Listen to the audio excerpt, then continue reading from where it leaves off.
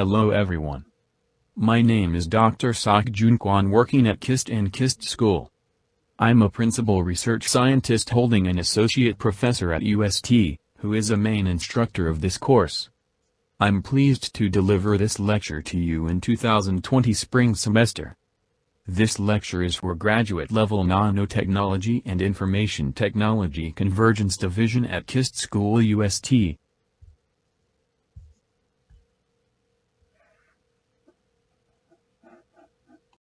As you already have been informed by UST, this lecture is Introduction to Nanotechnology and Information Technology Convergence. We meet on every Wednesday at 2 p.m. The class is planned 3-hour-long lecture for 3 credit hours. This lecture is composed of three parts. The first part is on the nanotechnology covered by Dr. Kwon. The second part is on the human-computer interface, which will be covered by Dr. Park. Lastly, the third part is on the information technology mainly focusing on robotics. This part will be covered by Dr. Kim. We are supposed to meet in room L4466. However, as many of you have already been informed from UST headquarter, due to severe status of worldwide COVID-19 virus infection as of March 2020, this course will be covered by online lectures and materials as much as possible for the safety of everyone. In addition, office hour will be provided via online. Please do not visit instructors' offices in person. Please be advised further instruction from instructors and UST headquarter for the course. At least the first and second lectures, weeks 1 and 2, will be posted online. Please feel free to contact instructors or UST staff for more information on the online lecture.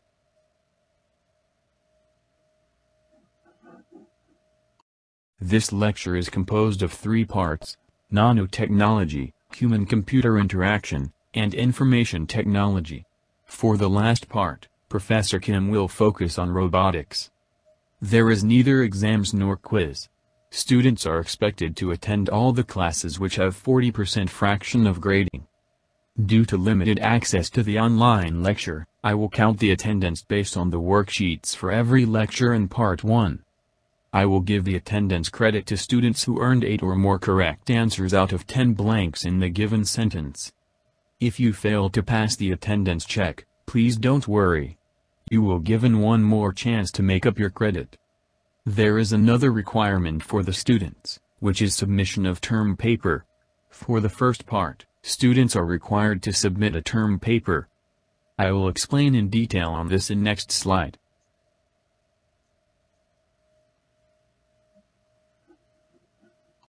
For the term project for Part 1, students are required to read, review, and submit a summarized report of one of the review papers published in Nature Nanotechnology in recent years. I suggest you to skim the papers in the list and select one of them and read and review carefully. I want you understand as much as possible of the paper contents and paraphrase of the contents in your own sentences. There are word limits ranging from 1000 minimum to 2000 maximum. There is a strict deadline by April 25, 6 p.m. For your report, please provide any relevant references at the end of the report.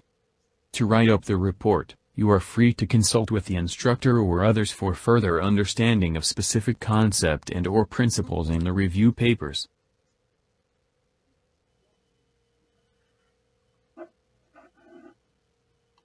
I recommend you to buy or borrow at least one of these textbooks for the first part of the lecture shown in this slide.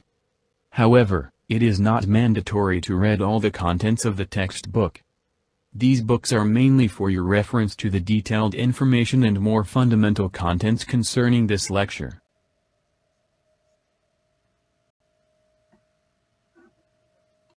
Now let us start with a general introduction to nanotechnology.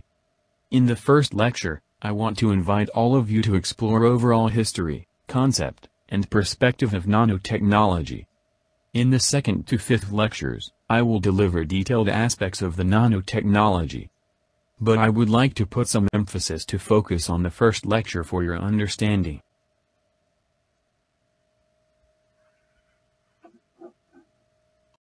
There are various areas and subjects belong to nanotechnology. Due to limited time for the course, I will explore several selective subjects which I think important and valuable for apprentices. In the first week, I will cover general aspect of nanotechnology. In this lecture, we will meet the history, definition, applications, limitations, and future perspective of nanotechnology. In the second week, we will explore the world of nanoscale materials such as carbon nanotube, silicon nanowire, graphene and other two-dimensional materials as well as nanostructures. In the third week, we will learn about nanoscale devices and sensors. In the fourth week, we will delve into photonics and optics at nanoscale. In this lecture, we will learn about the light-matter interaction at nanoscale.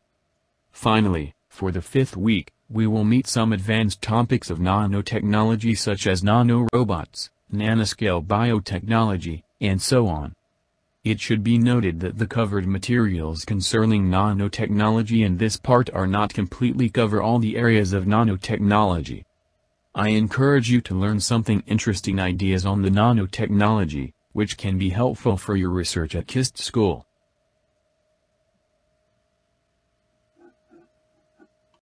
Now let us start with a general introduction to nanotechnology. In this lecture, I will introduce the concept and definition of nanotechnology. Next, you will learn about brief history of nanotechnology. And I want you to learn about which areas and applications nanotechnology can have. I will also mention about the limitations and future perspective.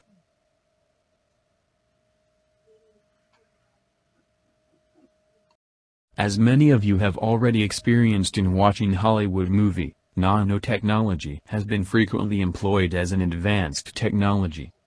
For example, in the Marvel movie like Ant-Man, you can find quantum physical concept for miniaturizing the Ant-Man who explored in the nanoscale world. In another Marvel movie such as Iron Man or Black Panther, nanotechnology was employed for the self-assembly nanomaterials which forms designated systems for the characters. In the movie such as The Day the Earth Stood Still, alien civilization deploy nanorobots which can degrade both animate and inanimate systems. Similar concept was introduced in the movie such as G.I. Joe namely the nanomite. In the movie like Terminator, liquid metal composed of nanomachines were capable of reconstruct. The Terminator. I researched how many movies employed nanotechnology as an instrument to describe the advanced technology, and I would like to share with you the result.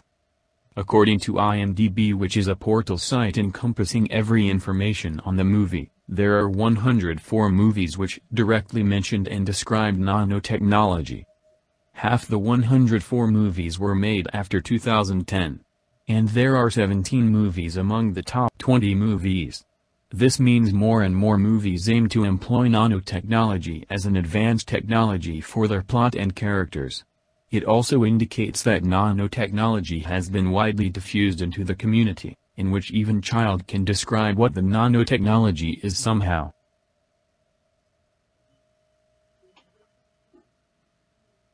However, we need to concentrate on the exact concept of nanotechnology.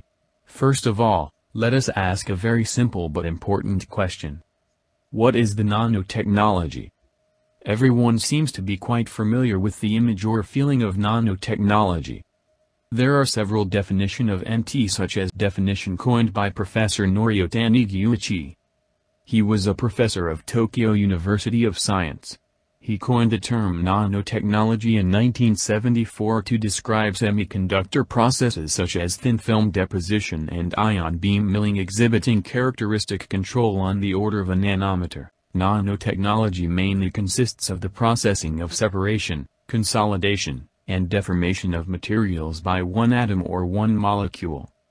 More general definition of nanotechnology is provided in the National Nanotechnology Initiative websites of the United States government. The NNI agency was created to foster worldwide advancement and leadership in nanotechnology within the United States. According to the NNI definition, Nanotechnology is the understanding and control of matter at dimensions of roughly 1 to 100 nanometers, where unique phenomena enable novel applications. encompassing nanoscale science, engineering and technology. Nanotechnology involves imaging, measuring, modeling, and manipulating matter at this length scale. The Interagency Subcommittee on Nanoscale Science, Engineering and Technology of the U.S. Federal Office of Science and Technology Policy defines nanotechnology as research and technology development at the atomic, molecular or macromolecular levels, devices and systems that have novel properties and functions because of their small and or intermediate size. The novel and differentiating properties and functions are developed at a critical length scale of matter typically under 100 nanometers. According to Royal Society of UK, nanotechnology is the production and application of structures, devices and systems by controlling shape and size at nanometer scale.